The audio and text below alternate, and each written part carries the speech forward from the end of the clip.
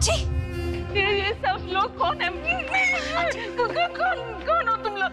मैं मैं किसी को नहीं जानती मैं मैं नहीं जानती। आई आई मैं देविका। आपकी सुनवाई मुझे पहचानती है ना आप? आपके बेटे राजाराम की पत्नी? दे, दे, देविका। कहाँ कहाँ आ गए हम मुझे यहाँ नहीं रहना।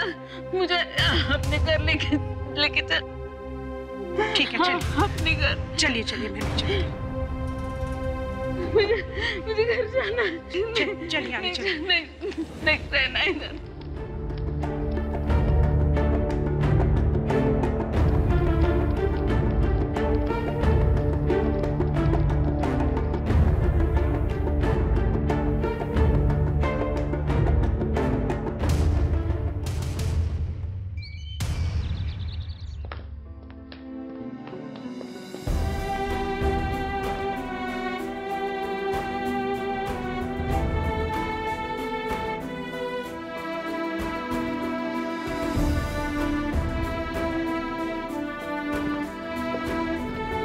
डॉक्टर, क्या हुआ था आजी को?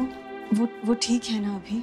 देखिए, इनका एल्जाइमर दिन ब दिन बढ़ता चला जा रहा है। इनकी याददाश्त बिगड़ती चली जा रही है। अगर ऐसे ही रहा तो हम लोग के लिए बहुत मुश्किल हो जाएगी इनकी याददाश्त को वापस लाना। एंड आप लोग को एक चीज़ का बहुत खास ख्याल रखना है कि आप इनके सामने कोई भी तरह के तनाव की बात ना करें। और लड़ाई झगड़ा तो बिल्कुल ही ना करें, क्योंकि ये ऐसे पेशेंट्स ये सब देख के बहुत परेशान हो जाते हैं। और कभी कभी तो ये अपनी जान लेने की भी कोशिश करते हैं।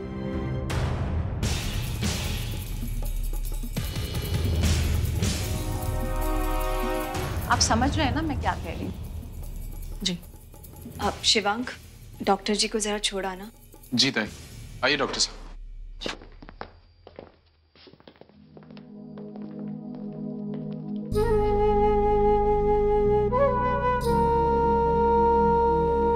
अब मैं तुम दोनों के सामने हाथ जोड़ू।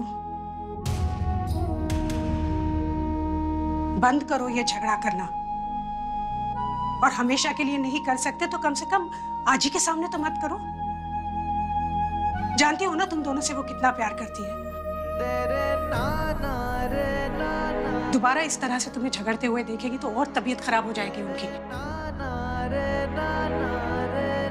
तुम दोनों समझ रही हो ना मैं क्या कह रही हूँ?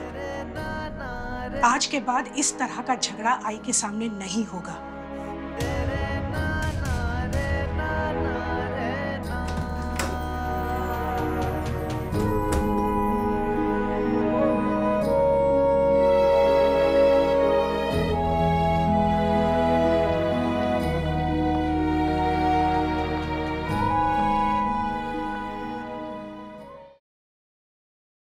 खाना बनाना आता है तुम्हें? मालकिन आप तो उंगलियाँ चाटती रह जाएँगी। और क्या क्या काम आता है? नाच लेते हैं।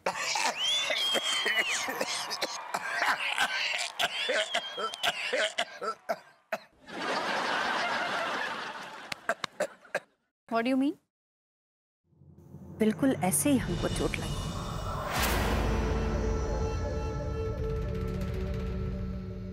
जब तुम्हारे बेटे ने हमारी इज़्ज़त के साथ खिलवाड़ किया। और तुम्हारी बेटी ने उसकी मदद की। मैं तो सारी ज़िंदगी भगवान को मानती रही।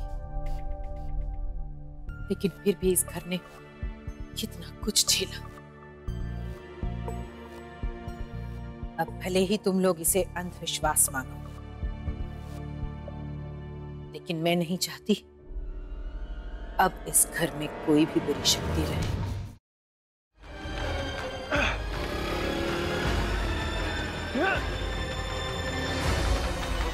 सर!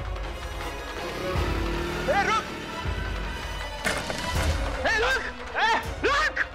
अरे मारने तो सामने से मार! इस तरह छुप के वार करने में कोई मर्दानगी नहीं है।